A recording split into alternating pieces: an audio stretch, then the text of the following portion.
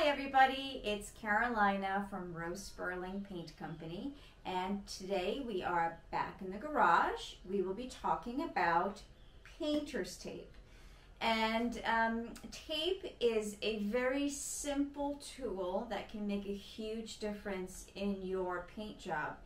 And that difference can be spending hours on your hands and knees scrubbing or touching up or spending a little bit of time at the beginning of your project to tape everything up, whether that's the windows, the floor, um, baseboards, anything like that. But tape isn't just tape. There are a lot of choices. So today I wanted to go through some of the tapes that we have um, so that when you're shopping online or if you're coming to the store, you can make a better decision about the tape that you need. We are going to start with the basics. Uh, this yellow tape is just a regular old masking tape. If you leave this on for longer than a day, it will start to tear when you take it off. However, um, this is a great inexpensive tape if you want to glue some paper down to the floor, um, if you need to tape some plastic sheeting to the wall, if you want to um, stick together some sheeting when you're wrapping up furniture. This is going to be your basic go-to regular old masking tape. It's not very expensive, it's really budget friendly, but if you do use it to tape up um, your windows or your floors, just remember that you will have to take this off pretty quickly. Otherwise, when you try to remove it, it's going to tear and you're going to be there scraping with your fingernails. Um, regular old masking tape. The second tape I wanted to talk to you about is blue tape. Uh, blue painter's tape comes in a variety of widths. This is a two inch. Um, and this can be left on for about a week without tearing. So if you're going to be doing uh, your baseboards, for example, at home, and you want to tape up the floor and the wall, you can do a couple of coats of paint over a few days without worrying that the tape will tear when you try to take it off. So this is your basic all-purpose two-week painter's tape.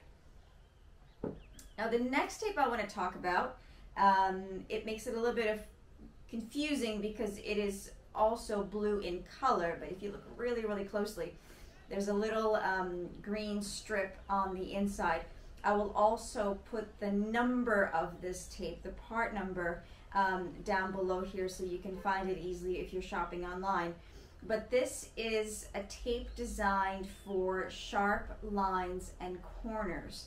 Now in the next video, I'm going to be talking a little bit more about how to get really sharp, crisp lines with this tape, even on Bermuda stone walls, um, which can be a little bit bumpy. Um, but we're just gonna talk about this really quickly now. The tape for sharp lines has a polymer in it and the polymer reacts with the latex resins in the paint. The resins wake up the polymer and it helps the tape stick to your surface better without getting all that bleed under. Um, so this is great for any sort of latex house paint. Most house paints these days are latex um, that you'll be using for your DIY project.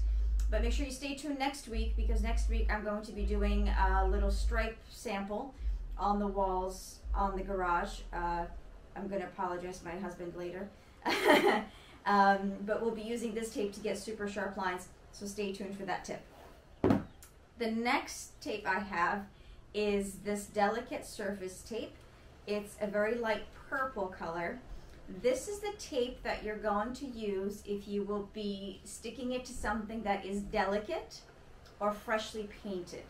So going back to our baseboard example, um, if you're going to be painting your baseboards today and taping them up so you can paint your wall tomorrow, you would use this delicate surface tape. It's not very sticky. So when you remove it off of something that is freshly painted, it won't damage your paint job. It's this purple delicate surface tape. Now, the last tape I want to talk about um, is this one. Also a little confusing. It's also yellow, just like the regular all-purpose masking tape.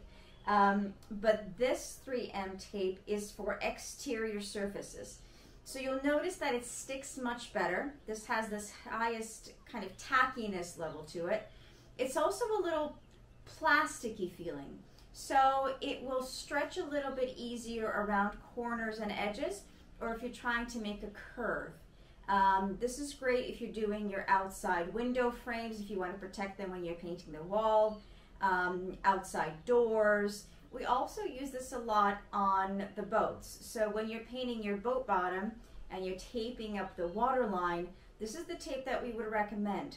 Not only again is it plasticky, so it makes the turn around the boat a little bit easier, it also doesn't tear when it comes off. And you can also leave this tape on for about two weeks so if you're working on your boat over a period of time, you don't have to worry about this tape being exposed to the elements, uh, the sun, and the rain. It will come off cleanly um, even outside after that time. So that is the exterior yellow tape, not to be confused with the masking tape.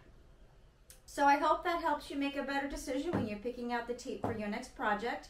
Um, again, it really is worth spending a little bit more time in the beginning of your project. And I know it's tedious because it's one of those things that I absolutely hate doing. Um, but when you use tape to mask off things you don't want to get paint on, it really does save you a ton of time and cleanup later.